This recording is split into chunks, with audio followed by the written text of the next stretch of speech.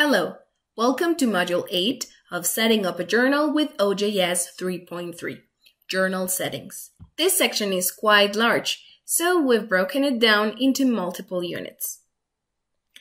This first unit is the masthead. In the masthead, we'll be inputting a lot of the contextual metadata for your journal. Let's dive in. We start on the journal's homepage. Access your dashboard by hovering over your username and clicking on the dashboard link. In the left navigation menu, let's go to the settings area and select Journal. The masthead is the first tab under the journal settings.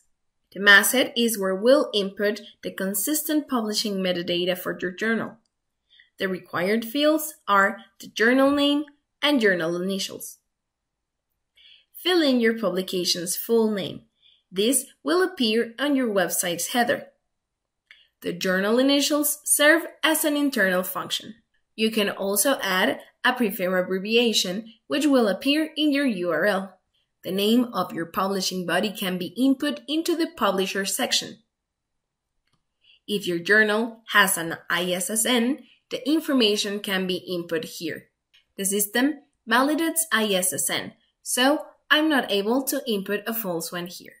Journal summary is for a brief description of your journal's publishing interests and purpose.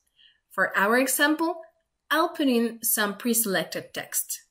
The editorial team section of the page is a rich text editor where you can introduce all of the people on your journal team, including your editors, directors, and other people.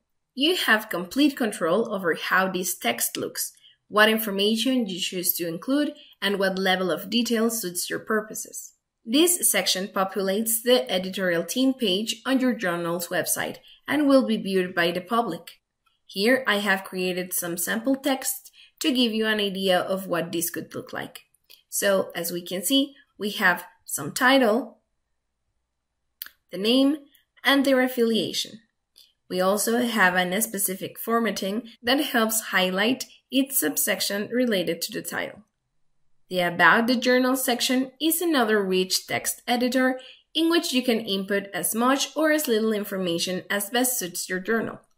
The description of this section makes some suggestions as to what types of content you may want to include in the section. If there are any sections you'd like to include, but you're uninspired in drafting the content, Reviewing some OJS published journals for inspiration and examples can be a big help. The content input into this section displays on your journal website and populates the About the Journal page. For example purposes, here's what some of this content might look like. This example has a focus and scope of the journal, information about the open access policy, a copyright notice, a privacy statement, and some information about sponsorship. Now that we have filled everything, click on Save.